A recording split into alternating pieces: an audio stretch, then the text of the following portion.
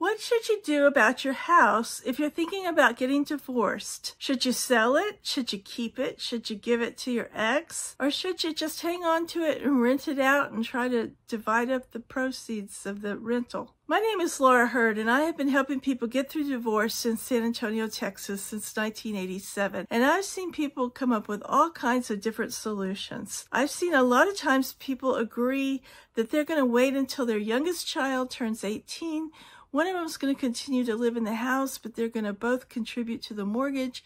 And then the plan is that when the youngest turns 18, they'll sell the house and divide the proceeds. But so many things can go wrong in the meantime.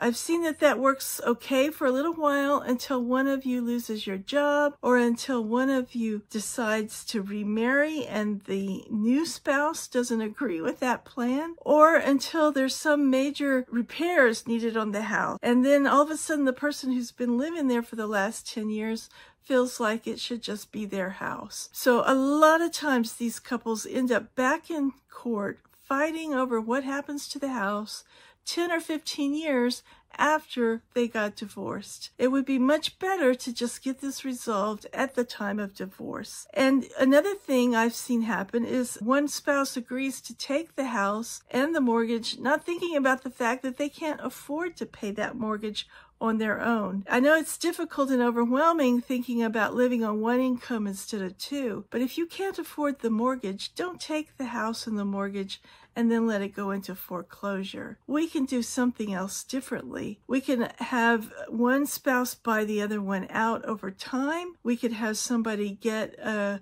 home equity loan with cash out, refinance, and get cash out that way. There are a lot of different solutions to the problem of what to do with the house that will not entail you continuing to make payments on that house that you no longer live in after the divorce.